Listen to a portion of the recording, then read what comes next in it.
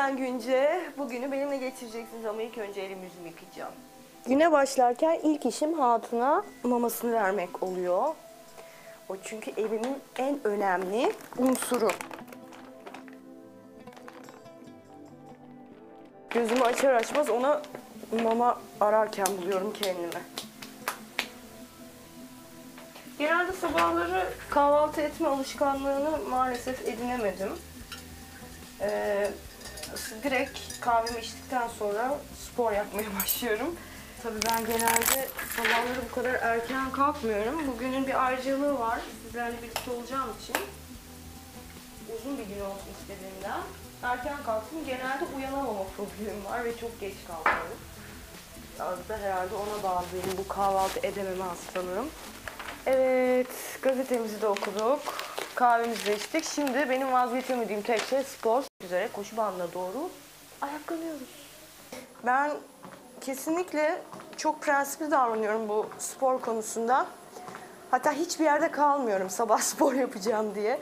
Arkadaşlarımla falan bazen toplanıyoruz. Ben hemen eve vın. Artık koşamayacağım. Çünkü koşmaya başlıyorum. Evet sporumuz bitti. Ben de bittim. Ama gerçekten kendimi inanılmaz iyi hissediyorum ve dediğim gibi herkese tavsiye ediyorum. Şimdi bir takıntım daha var. Maillerim. Maillerim her sabah mutlaka bakmadan dışarı asla çıkmam. Ee, ve ayrıca bir de tabii ki çok merak ettiğim bazı siteler var. Onlara da bakıyorum. Şimdi hep beraber sizinle zaten bir göz gezdireceğiz. Ama ilk önce duş alacağım. Evet biraz uzun sürdü ama saçımı kurutmak falan. Ve karşınızdayım. Maillerime bakacağım. Biraz da gezineceğim nette. Çünkü merak ettiğim çok fazla şey oluyor ve aynı gazete okumak gibi. Beni çok aydınlatıyor. Yabancı sitelerde haberlere bakıyorum. Aynı zamanda bir Google hastalığım var. Orada radyolardaki durumuma bakıyorum.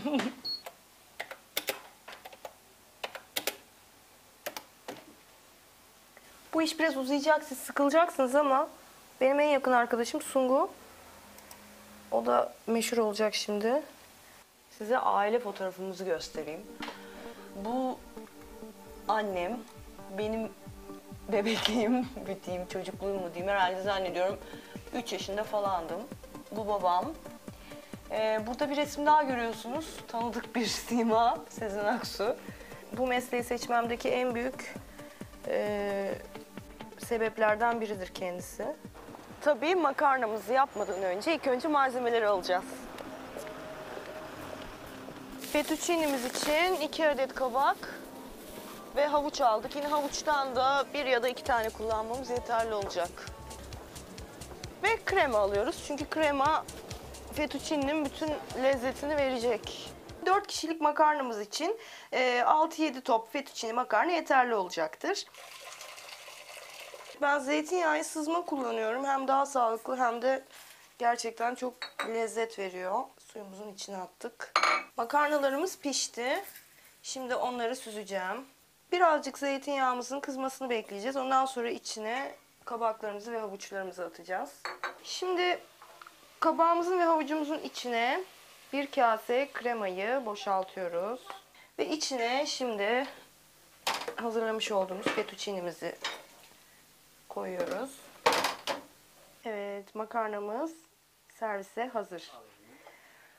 Umarım beğenirsiniz. Afiyet olsun. En az haftanın 3 günü e, maalesef saçlarım artık kopacak yakında kuaföre gelmek zorunda kalıyorum.